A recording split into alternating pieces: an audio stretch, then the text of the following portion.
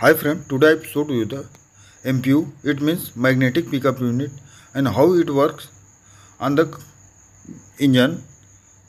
And uh, in the below side I have show to you the photograph of the magnetic pickup unit. It means MPU and how it will be work along with the flywheel as well as MPU. When the and uh, I have clear to you how to set the MPU on the flywheel housing actual distance. This is the as per the company norms and I have showed you this figure. Then how to set the distance of the ring gear as well as magnetic pickup unit.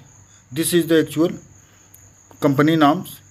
You can set the MPU along with the ring gear of the flywheel and after that i have showed you the how it works and how it will be function of the when the engine will be running. That time from the flywheel ring gear and as well magnetic pickup unit it will be cut the some magnetic flux like this one.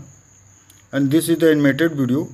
And due to this flux it will be develop the voltage on this wiring harness of the MPU.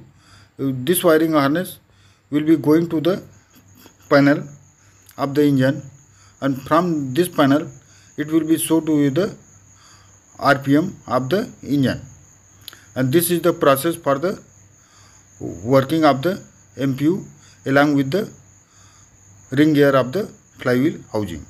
This is the process for the RPM of the MPU. If you like this video, please subscribe my channel and share to your friends.